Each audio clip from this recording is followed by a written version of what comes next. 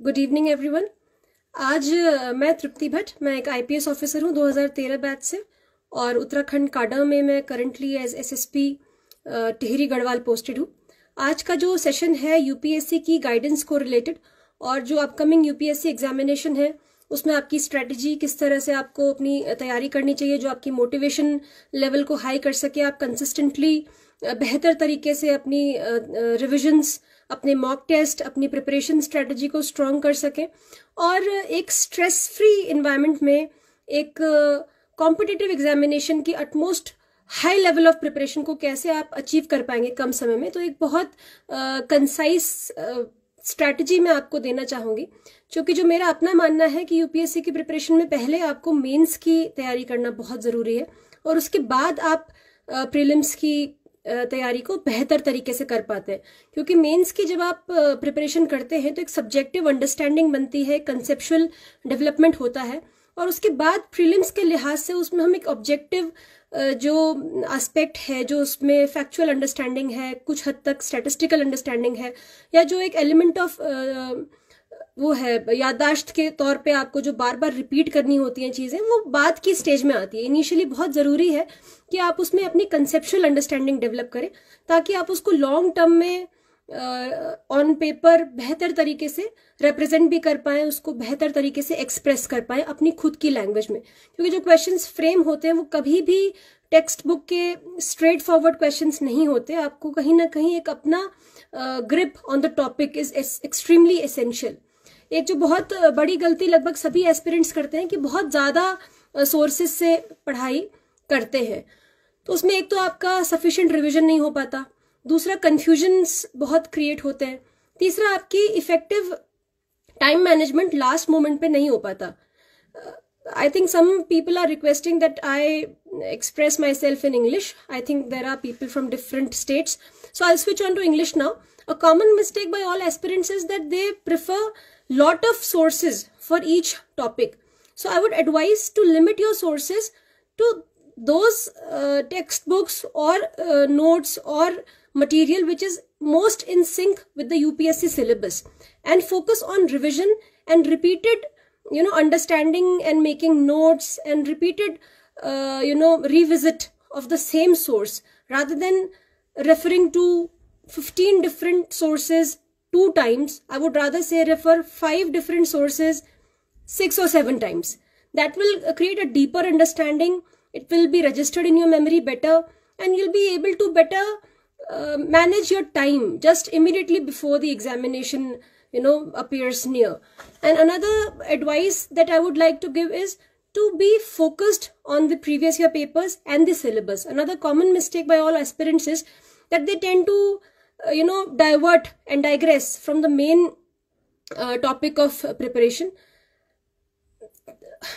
I think now people are requesting in hindi. So uh, the problem with both approaches is that upsc uh, you know largely is about something of everything and everything of something. I would repeat something of everything and everything of something कुछ topic ऐसे होंगे जिसमें आपको सब कुछ बहुत गहराई से पढ़ना पड़ेगा। लेकिन सभी टॉपिक्स के बारे में एक ब्रॉड अंडरस्टैंडिंग आपको होनी बहुत ज़रूरी है।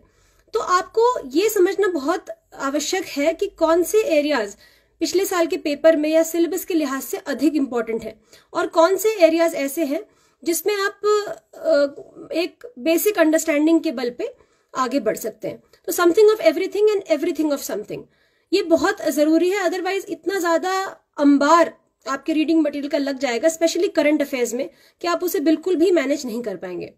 तीसरा जो इम्पोर्टेंट मैं आपको एडवाइस देना चाहूँगी नोट नोट्स बनाने के लिए। कई लोगों को लगता है कि बहुत यू नो घंटे पढ़ना पड़ता है, या अठारह घंटे पढ़ाई करनी पड़ती है, सोलह घंटे पढ़ाई करनी पड़ती है, ऐसा कोई रूल नहीं है। मैं अगर अपनी स्वयं की अनुभव शेयर करूँ तो मैं ऑलरेडी एनटीपीसी में I was a working professional and I prepare along with job तो uh, मैं दिन का चार घंटा करीब डेली पढ़ती थी लेकिन रिलीजियसली चार घंटे पढ़ती थी चार से पाँच घंटे दो दो घंटे सुबह दो तीन घंटे शाम। और कंसिस्टेंसी बहुत ज़रूरी है। ऐसा नहीं होना चाहिए कि एक दिन आपने दस घंटे पढ़ाई कर ली और अगले दिन आपने फिर ब्रेक ले लिया तीन दिन तक। तो उसका कोई फ़ायदा नहीं आपका डिसिप्लिन आपकी कंसिस्टेंसी इसमें बहुत अधिक ज़रूरी हो जाती है। और रिविजन जो भी आप पढ़ रहे हैं उसको रजिस्टर आपके माइंड में होना बहुत ही ज़रूरी है। तभी आप उसका एग्जामिनेशन पॉइंट ऑफ़ व्यू से in terms of conversion to marks आप जो भी पढ़ते हैं आपको फोकस uh, होना चाहिए आपके आउटपुट पे कन्वर्जन टू मार्क्स अगर आप कोई टॉपिक पढ़ रहे हैं तो उसके आप बुलेट पॉइंट्स बना लीजिए। लास्ट ईयर में कोई क्वेश्चन उससे पूछा गया है तो उसमें मार्क कर लीजिए। आपको लगता है कि करंट अफेयर में कोई important for example essential commodities act आपको लगता है कि आ, किसी करंट हैपनिंग से रिलेटेड हो सकती है।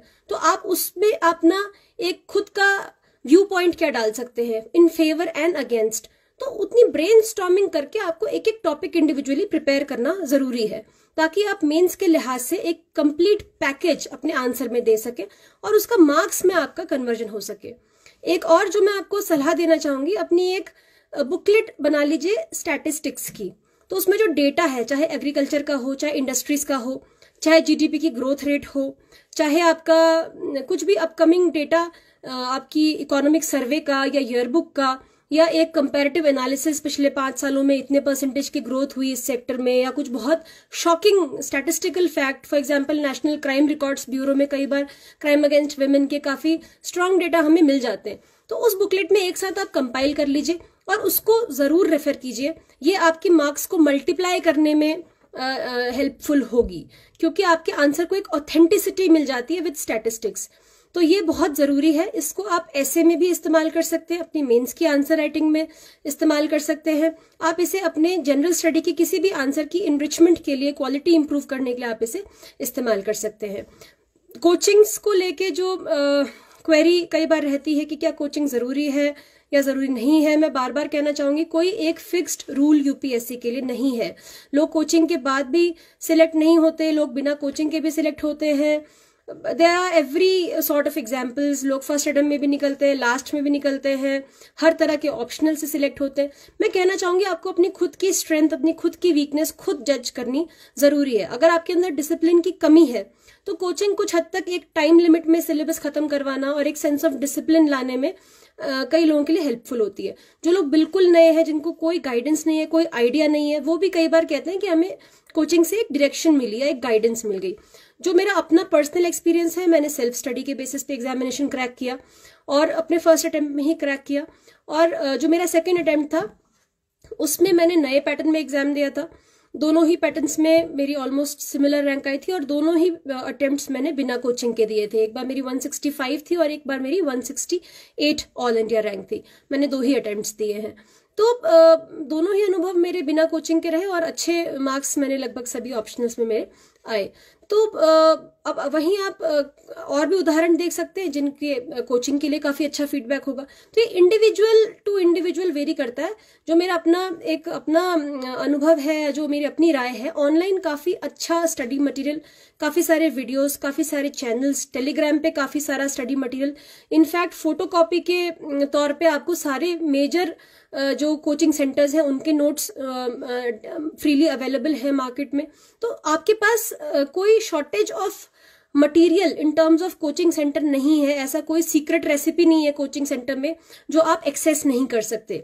Only issue is you must be very discipline and focused उस पूरे मटेरियल को एक तय टाइम लिमिट में खत्म कर पाना रिवाइज कर पाना, उससे अपने नोट्स बना पाना, वो बहुत ज़रूरी है।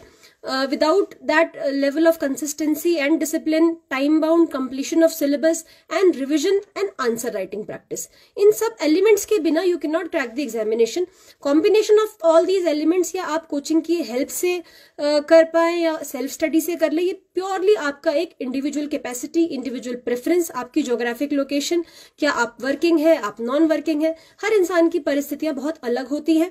और उसी हिसाब से आप अपने लिए एक इंडिविजुअल कॉल ले कि आपको कोचिंग की ज़रूरत है या नहीं है। जो आपका फोकस होना चाहिए बेसिक से एडवांस्ड फ़र्स्ट स्टेप में एनसीआरटी एनसीआरटी क्लास सिक्स से लेके ट्वेल्थ तक. That is the first step of UPSC preparation और बिना आपके फंडामेंटल्स के स्ट्रांग हुए, आप कोई भी फर्दर उसमें बिल्डिंग ब्लॉक के तौर पे आप उसे लें फ़र्स्ट स्टेप के तौर पे लें। एनसीईआरटी की कम से कम दो या तीन रीडिंग कर लें कैजुअल रीडिंग करें, फिर धीरे धीरे उसमें आपकी अंडरस्टैंडिंग डेवलप होगी। फिर आपका text books standard text books जैसे पॉलिटी में लक्ष्मीकांत के बिना मुझे नहीं लगता कोई पॉलिटी इफेक्टिवली तैयार कर कर सकता है। या हिस्ट्री में फॉर एग्जांपल स्पेक्ट्रम है या बिपिन चंद्र मतलब कुछ स्टैंडर्ड टेक्स्ट बुक्स हैं जोग्राफी के लिए जी सी लियोंग बहुत अच्छी एक बुक है। कुछ स्टैंडर्ड टेक्स्ट बुक्स जो बिल्कुल बेसिक है यूपीएससी के लिए, वो स्टेप टू में आती हैं। फिर स्टेप थ्री में आप एडवांस्ड टेक्स्ट बुक्स पे जाते हैं, जिसमें वो पार्ट्स हैं यूपीएससी सिलेबस के, जो ये सारी बुक्स कवर नहीं कर रही, या कुछ एक एक्स्ट्रा एनरिच्ड पार्ट है। और फोर्थ स्टेप में आप उसको टॉप अप करते हैं स्टैटिस्टिक्स से इंडिया या बुक से इकोनॉमिक सर्वे से कोचिंग के नोट से ये आपका एक अपना कन्वेंशनल पार्ट बनता है। और जहाँ तक करंट अफेयर का सवाल है, वो आपका पैरेलली चलता है चूँकि आप अखबारों को आपको रेगुलरली पढ़ना है, आपको मंथली मैगजीन्स रेफर करनी है। और उसके साथ आपको अपनी कन्वेंशनल जो अंडरस्टैंडिंग है, उसे क्लब करना है। यानी कि जो भी इश्यूज़ करंट अफेयर में ज़्यादा डिस्कस हो रहे हैं, ज़्यादा न्यूज़ में आ रहे हैं, उससे रिलेटेड आपका कौन सा कन्वेंशनल टॉपिक है, उसको आप कैसे आपस में कोरिलेट कर पाएँगे।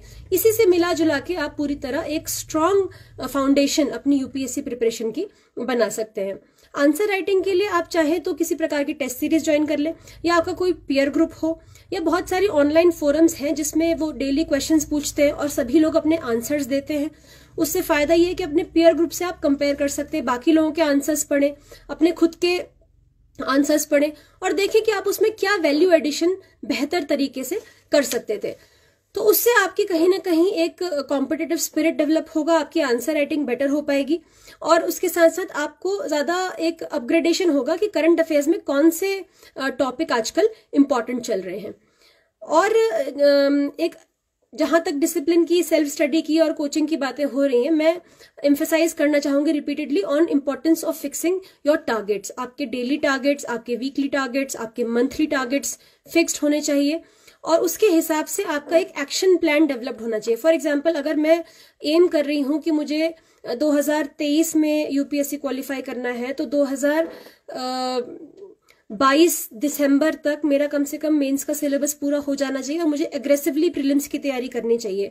एंड फॉर दैट उससे पहले के एक साल में मेरी पूरी स्ट्रेटजी बन के एक मंथली फिक्सेशन की मुझे इतने समय में एनसीआरटी खत्म करनी है, इतने समय में basic textbooks advance textbooks and the enrichment material तो step by step and then revision of course and answer writing plus parallelly your current affairs and preliminary examination preparation तो आपका पूरा एक ब्लूप्रिंट बना के आप उसको एग्जीक्यूट करें तो आप एक कम समय में अपने टारगेट को अचीव कर पाएँगे।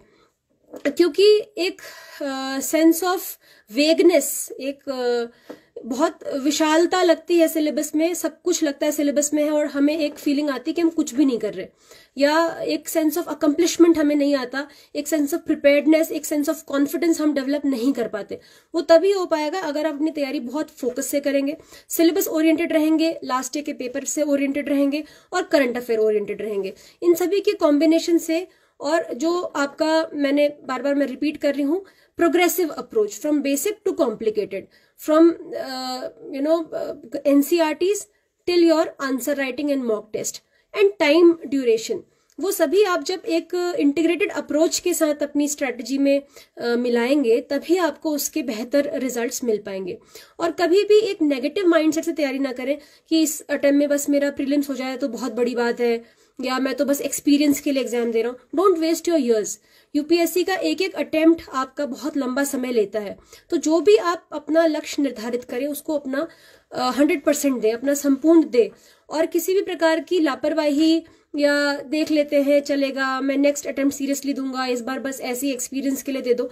इस तरह का माइंडसेट ना रखें। Give your hundred percent give your best and give with in you know outlook of converting it into a rank मतलब uh, केवल किसी के प्रेशर में आके या पीयर प्रेशर में आके या पेरेंट्स के कहने पे फॉर्म भर दिया, इस तरह से आपकी प्रिपरेशन बिल्कुल भी ट्रैक पे नहीं आ पाएगी। आप खुद जब तक सेल्फ मोटिवेटेड नहीं है सेल्फ डिसिप्लिन नहीं है, जब तक आपके अंदर एक सेंस ऑफ़ अर्ज़ नहीं है कि मुझे उस लिस्ट में अपना नाम देखना है that is the fire that will you know push you that will propel you तो उससे आपकी तैयारी में एक पैशन आएगा। आपकी तैयारी में एक ऊर्जा आएगी, एक एनर्जी के साथ आपको आगे बहुत कंसिस्टेंटली अपने मोटिवेशन लेवल को हाई रखते हुए आपको लंबे समय तक पढ़ाई करनी है। तो केवल किसी के कहने से या just because everybody is filling up forms तो मैं भी फॉर्म भर दूँ तो उसमें हाफ़ हार्टेड अप्रोच ना रखें। अगर आप यूपीएससी एग्ज़ाम दे रहे हैं तो अपने पूरे कमिटमेंट के साथ, पूरे मोटिवेशन के साथ और पूरी अपनी इच्छा शक्ति के साथ, अपने पूरे प्रयास के साथ इस एग्ज़ाम में दें। और उससे ही आप खुद भी एक सेटिस्फेक्शन फील करेंगे कि मैंने अपना हंड्रेड परसेंट दिया। उसके बाद मैं चूँकि काफ़ी ब्रॉडली आपको सारे पॉइंट्स बता चुकी हूँ नोट्स के लिए काफ़ी लोग पूछ रहे हैं कि नोट्स किस तरह से बनाए जाए। नोट्स बनाने के कई तरह के मेथड्स हैं। जो बिल्कुल बेसिक कन्वेंशनल अप्रोच है कि आप बुक्स पढ़ें और हैंड रिटन नोट्स बनाएँ। लेकिन हर कोई हैंड रिटन नोट्स ना तो बना पाता है, ना हर किसी के पास इतना समय होता है। प्लस कई चीज़ें रेपिटेटिव होती हैं जो आप हैंड रिटन नोट्स बनाएँगे एनसीआरटी के तो वही आपको लगेगा कि प्रिंटेड मार्केट में भी अवेलेबल है तो मैं खुद अपने नोट्स क्यों बनाऊँ? तो नोट्स को लेके मेरा अपना यह मानना है कि आपको बिल्कुल रिजिड नहीं होना चाहिए, बहुत ओपन माइंडेड रहिए। कुछ एरियाज़ ऐसे हैं। फॉर एग्ज़ाम्पल एनसीआरटी के ज़्यादा वॉल्यूम होता है और नोट्स बहुत कम बनते हैं। जब आप सिक्स से लेकर ट्वेल्थ तक की एनसीआरटी पढ़ेंगे, उसके नोट्स बहुत कम समरी नोट्स बहुत कम पेजेस कवर करेंगे। तो जिसमें वॉल्यूम ऑफ़ बुक्स ज़्यादा है, उसमें प्लीज़ नोट्स बनाएँ अदरवाइज़ आप एग्ज़ाम से एक दिन पहले पेपर्स भी नहीं पलट पाएँगे उसके।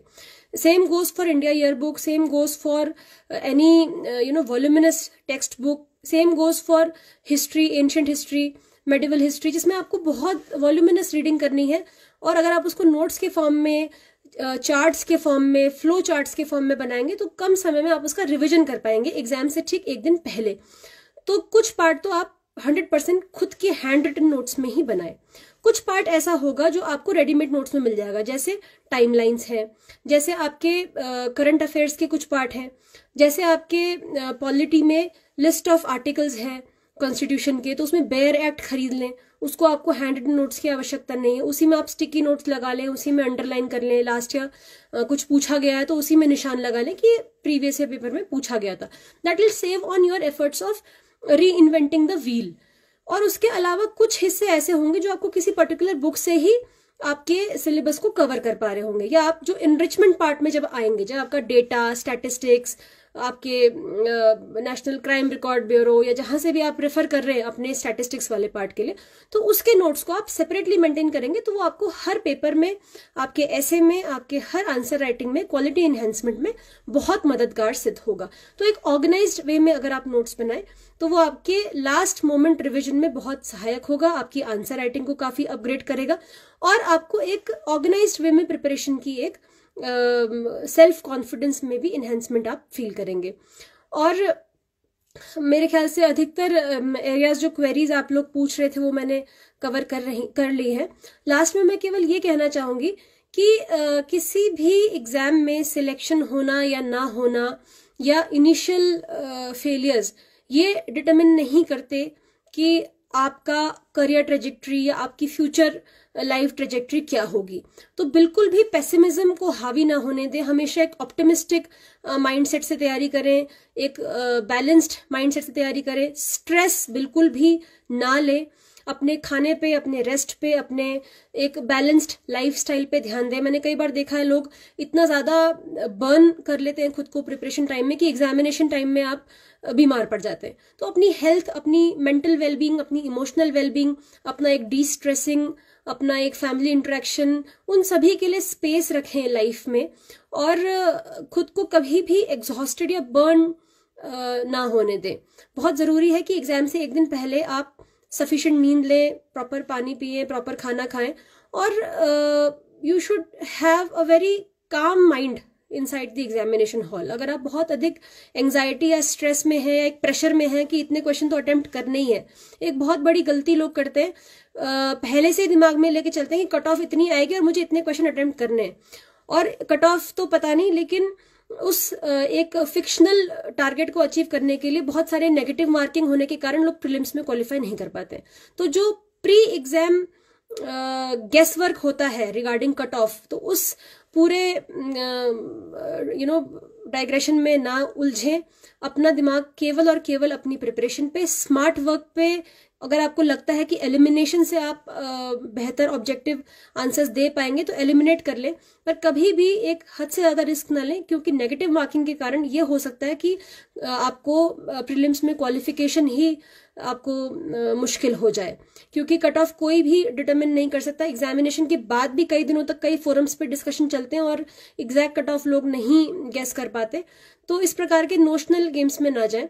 और एक आखिरी, जो मैं एडवाइस देना चाहूँगी टाइम मैनेजमेंट की which goes for mains examination also क्योंकि कई बार मैंने देखा है कि आपको किसी टॉपिक पे आपकी स्ट्रेंथ है अच्छी ग्रिप है आपको नॉलेज है तो इतना हम ड्रिवन uh, हो जाते हैं about writing in detail on that particular topic and we lose out on some other topic तो आपको अपने आंसर राइटिंग में mock test timed mock test और पूरे के पूरे क्वेश्चन पेपर को अटेम्प्ट करना। मतलब आपको you must touch every question whether or not you know in depth जितना भी आपको आता है जैसा भी आता है, कभी भी ये नहीं होना चाहिए स्पेशली मेन्स में कि आप एग्ज़ाम अटेम्प्ट मतलब कोई क्वेश्चन अटेम्प्ट ही नहीं कर पाए। तो इसके लिए बहुत ज़रूरी है कि आप टेस्ट सीरीज़ ज्वाइन कर लें कोई, या आपस में आंसर राइटिंग प्रैक्टिस कर लें। और टाइम ड्यूरेशन में अपना अलार्म लगा के उतने क्वेश्चंस को या पिछले साल के पेपर्स को within time frame answer writing की ज़रूर प्रैक्टिस कर लें। उससे आप एक बेहतर कॉन्फिडेंस लेवल के साथ एग्जामिनेशन हॉल में जाएँगे और डेफिनेटली उससे आपकी परफॉर्मेंस पे काफ़ी पॉजिटिव फ़र्क उससे पड़ेगा। आई थिंक आप सभी को एक ब्रॉड बर्ड्स आई व्यू इससे प्रिपरेशन का मिला होगा इंक्लूडिंग प्रिलिम्स मेंस इंटरव्यू की जहाँ तक बात है तो इंटरव्यू को लेके बहुत सारे फोरम्स भरे पड़े हैं यूपीएससी इंटरव्यू प्रिपरेशन को लेके। इस पर मैं बहुत अलग ज़्यादा कुछ नहीं कहना चाहूँगी, चाहे बॉडी लैंग्वेज हो, चाहे कॉन्फिडेंस हो, चाहे आपका डीएएफ रिलेटेड होमवर्क हो, चाहे करंट अफेयर्स हो, चाहे आपका एक ऑनेस्टी हो, बहुत सारे सोर्सेज में आपको वही चीज़ें बार बार लिखी हुई मिलेंगी। और ये गलती बहुत लोग करते हैं कि शुरुआत इंटरव्यू की तैयारी से करते हैं और प्रिलिम्स वीक रहता है और प्रिलिम्स ही क्वालिफाई नहीं हो पाता विच इज़ वेरी अनफॉर्चुनेट आपको मैं बार बार रिपीट करना चाहूँगी आपका फोकस ऑफ़ प्रिपरेशन मेन्स होना चाहिए। Then you go for prelims, and after you qualify, means that period is sufficient more than sufficient for interview preparation क्योंकि उससे पहले आप इतना कुछ पढ़ चुके होते हैं मेंस के लिए, कि आपका करंट अफेयर्स और जो कन्वेंशनल पार्ट है, वो काफ़ी हद तक मज़बूत हो चुका होता है। उसके अलावा एक्स्ट्रा आपको केवल जो आपका होम स्टेट है, आपका जो होम डिस्ट्रिक्ट है, आपकी जो एजुकेशनल बैकग्राउंड है, आपने अपने डिटेल्ड एप्लीकेशन फॉर्म में जो हॉबीज लिखी है, आपकी खुद की पर्सनैलिटी है, और जो ऑन गोइंग इवेंट्स चल रहे हैं of national and international importance उसको लेके आपकी राय है। आपका कॉन्फिडेंस लेवल बॉडी लैंग्वेज काफ़ी सारी चीज़ें हैं जो इंटरव्यू में एक होलिस्टिक असेसमेंट जिसका किया जाता है। मैंने देखा कई तरह के फनी पेजेस बनाए जाते हैं जिसमें कुछ टिपिकल से क्वेश्चंस क्लेम किए जाते हैं कि यूपीएससी इंटरव्यू में ये पूछा गया इससे और उसने सोचो क्या जवाब दिया होगा। और बहुत ही बैफलिंग और बहुत ही कंफ्यूजिंग से क्वेश्चंस लगते हैं कि कोई ऐसा कैसे पूछ सकता है। कि मछली कहाँ उड़ती है and all those random and stupid question कृपया उन फोरम्स में टाइम वेस्ट ना करें।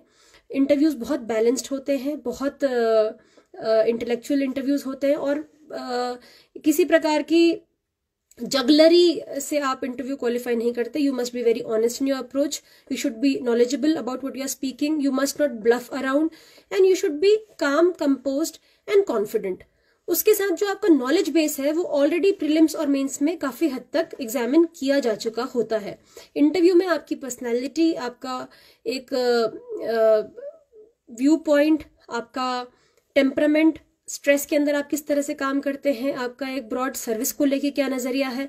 आपने जो कुछ क्लेम किया है अपने बारे में वो आप किस हद तक आ, उसे डिफेंड कर पाते हैं या एक्सप्रेस कर पाते हैं? तो एक काफ़ी अलग बॉल गेम है इंटरव्यू का और I think we can take a different session for interview preparation all together जो ब्रॉडली मुझे बातें कहनी थी आई थिंक तीनों जो एस्पेक्ट्स हैं यूपीएससी प्रिपरेशन के उस पर काफ़ी डिटेल में मैंने बता दिया and I hope that this session was useful for the young aspirants and I wish all of you very best of luck for all your future endeavours and specially जो भी एस्पिरेंट्स नए हैं UPSC के field में, मैं सभी से कहना चाहूँगी कि किसी प्रकार की ग्लास सीलिंग्स अपने मन में ना बनाए कि मैं ये नहीं कर सकता या मैं ये नहीं कर सकती। आप सब कुछ कर सकते हैं लाइफ में, जो भी आप फोकस्ड वे में जिसपे आप मेहनत करें, जो आप कंसिस्टेंटली तैयारी करें, जो भी आप प्रयास करें ईमानदारी से sooner or later you will definitely achieve it and you must always be highly motivated energetic and hard working to achieve your goal and you will get the best of everything what ever you are passionate about जय हिंद जय भारत